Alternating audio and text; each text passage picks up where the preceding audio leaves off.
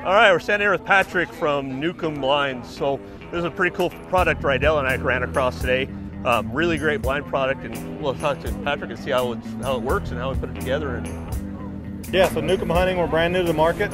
Our blind comes in this bag. It weighs three pounds. Hold that second for me. It's a simple, quick, easy breakdown. You can do a one-pole breakdown. Drop that, and that'll get you to here. If you want to carry it wood like this, you can carry it like this as well. Nice and quick.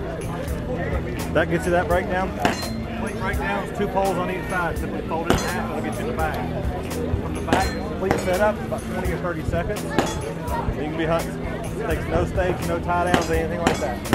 Comes in two different patterns, both true timber. True timber strata and HTC green, camo patterns. Don't just hunt them, nuke them. Yeah, so a lot of times I carry it in the woods like this. So when I'm carrying it like this, I'll use it for my rest. I'll put my binoculars on it and hold steady. A lot of times it's even got a V in the top. You can throw your rifle or your shotgun in it, whatever you're hunting, and use it as a shooting stick as well.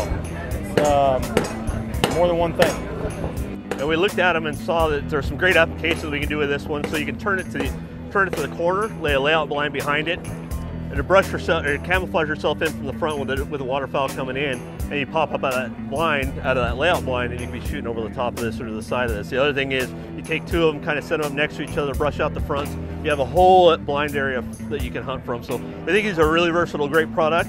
And look them up, grab yourself one. They're really affordable for what, what you get, and they're really useful and they're really lightweight, so you can pack them in and out to your duck hunts.